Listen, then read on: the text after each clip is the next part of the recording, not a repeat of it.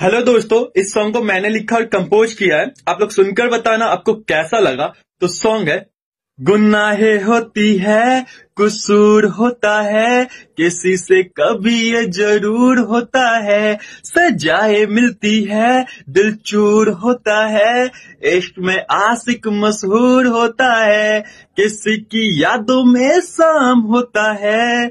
किसी का लब पे नाम होता है। टूटे सनम के है जब सारे वादे। फिर तो हाथों में जाम होता है। किस्मत का खेल होता है मोहब्बत। बाजी तो ज़्यादातर हारे ही जाते हैं।